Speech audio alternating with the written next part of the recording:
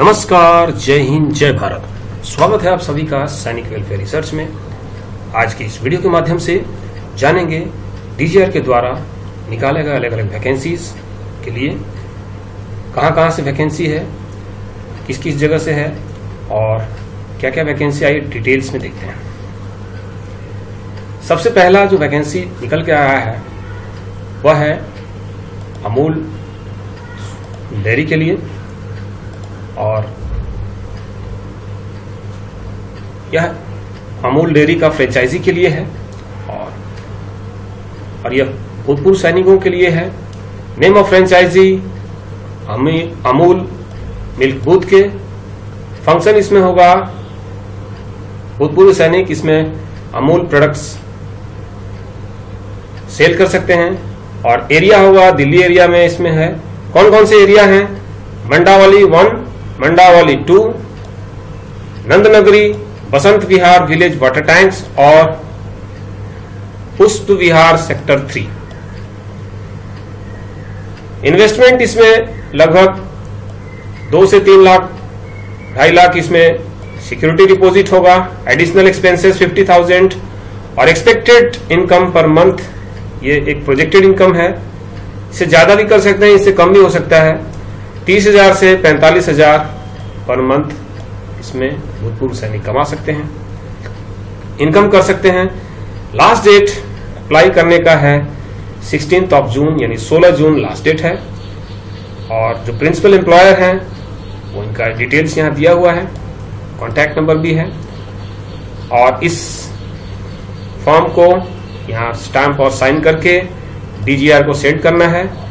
और ये एड्रेस है, ये टेलीफोन नंबर है, ज़्यादा जानकारी के लिए आप संपर्क कर सकते हैं। इसका पीडीएफ आपको हमारे डिस्क्रिप्शन बॉक्स के टेलीग्राम चैनल पर मिल जाएगा, वहाँ से आप इसको डाउनलोड कर सकते हैं। अगला वैकेंसी है भूतपूर्व सैनिकों के लिए डीएफसीसीआईएल डीएफसीसीआईएल क्या है? यह है dedicated freight corridor corporation of India limited इसका मतलब होता है, और यह इसमें वैकेंसी है गेटमैन और पॉइंटमैन के लिए। इसमें जो सैलरी रेंज है, वह पंद्रह हज़ार से इक्कीस हज़ार सात सौ बीस के आसपास। क्वालिफिकेशन मैट्रिक पास चाहिए और इनिशियल पोस्टिंग इसमें जो गेटमैन की जो वैकेंसी जो इसमें जो जगह होगा, वह रूमा और सुजातपुर सेक्शन के बीच होगा। जानकारी के लिए बता दें रूमा और सुजातपुर के बीच की जो दूरी है वह 100 131 किलोमीटर है और यह एरिया उत्तर प्रदेश में पड़ता है। रूमा कानपुर के नज़दीक है और सुजातपुर कौसम्बी डिस्ट्रिक्ट में पड़ता है और यह बीच में, दोनों के बीच का डिस्टेंस 131 किलोमीटर है। आइए नक्शे के माध्यम से समझते हैं। और यह कानपुर और रूमा के बीच में यहाँ पे जॉब लोकेशन होगा भूतपूर्व सैनिकों के लिए। और इसमें भूतपूर्व सैनिक अगर इच्छुक हैं तो वह इसमें नंबर ऑफ़ वैकेंसीज की बात की जाए तो इसमें 36 है। एज रेंज इसमें 55 साल तक अप्लाई कर सकते हैं। लास्ट डेट 20 जून 2022 है। कैसे अप्लाई करना है, हम वीडियो के लास्ट में इसके बारे में जानकारी देंगे। या डायरेक्टली सोल्जर बोर्ड से हमें अपने नाम को भिजवाना है। क्या इसका प्रोसेस रहेगा, हम लास्ट में वीडियो के अंतिम में इसके बारे में चर्चा करेंगे। नेक्स्ट जो डीजीआर की तरफ़ से वैकेंसी आया है वह यह है स्टाफ सिलेक्शन की तरफ़ से है और पार्ट टाइम है, अंशकालिक है।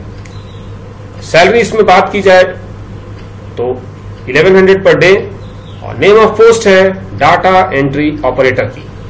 क्वालिफिकेशन इसमें एनक्लोजर में दिया हुआ है, यानी एनक्लोजर हम अभी देखेंगे। एक्सपीरियंस डाटा एंट्री में एक्सपीरियंस होना चाहिए और place of initial posting Delhi ही रहेगा।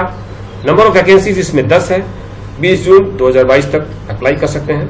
आइए इनक्लोजर पढ़ते हैं। जॉब फ़ंक्शंस इसमें देखा जाए तो इसमें जो जॉब फ़ंक्शन होगा बेसिकली इसमें डॉक्यूमेंट वेरिफिकेशन करना होगा। जो कैंडिडेट्स एसएससी में क्वालिफाइड हो जाते हैं और लास्ट फ़ेज़ उनका डॉक्यूमेंट वेरिफिकेशन का होता है तो वही डॉक्यूमेंट वेरिफिकेशन उनके डाटा एंट्री करना है। ये जॉब फ़ंक्शन है। उसके बाद इसमें बाकी एलिजिबिलिटी देखते हैं, क्या रहेगा। तो ये पार्ट टाइम जॉब रहेगा ऑनलाइन और वर्क एक्सपीरियंस चाहिए डाटा एंट्री में गुड एक्सपीरियंस चाहिए इसमें अच्छा एक्सपीरियंस चाहिए, यानी कंप्यूटर ऑपरेट होना, करने आना चाहिए। Location of job New Delhi है सैलरी 1100 पर डे और जॉब फ़ंक्शन यहाँ लिखा हुआ है। देख सकते हैं। डॉक्यूमेंट वेरिफिकेशन करना है और डाटा एंट्री वाला काम। नेक्स्ट वैकेंसी है स्टाफ सिलेक्शन कमीशन की तरफ़ से और यह है डॉक्यूमेंट चेकर का। जॉब रोल लगभग डाटा एंट्री ऑपरेटर जैसा ही है बट इसमें एसएससी के जो कैंडिडेट्स हैं, उनका डॉक्यूमेंट वेरिफिकेशन में एक अहम रोल रहेगा और इसमें डॉक्यूमेंट चेक करना होता है होता है। नंबर ऑफ़ वैकेंसीज इसमें टेन है, और लास्ट डेट 20 जून 2022 है। सेम इसमें एनक्लोजर में भी सेम वही है, जो डाटा एंट्री ऑपरेटर का था। जॉब रोल सेम है। और सैलरी इसमें सेम 1100 पर पर डे और जॉब फ़ंक्शन भी वही है डॉक्यूमेंट वेरिफिकेशन का।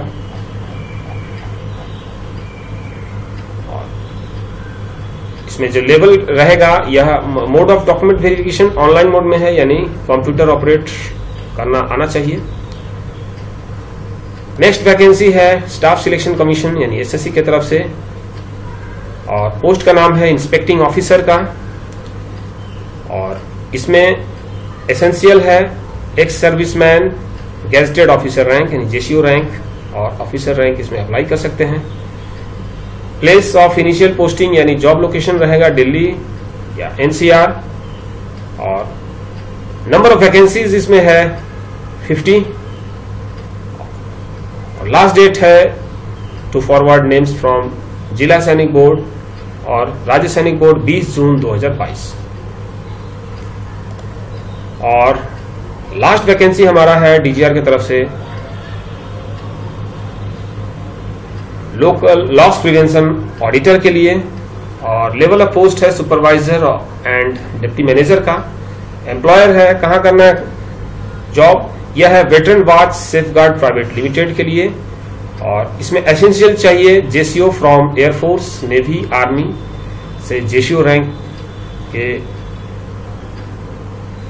अधिकारी चाहिए। और place of initial posting NCR Greater Noida Noida और गुड़गांव रहेगा।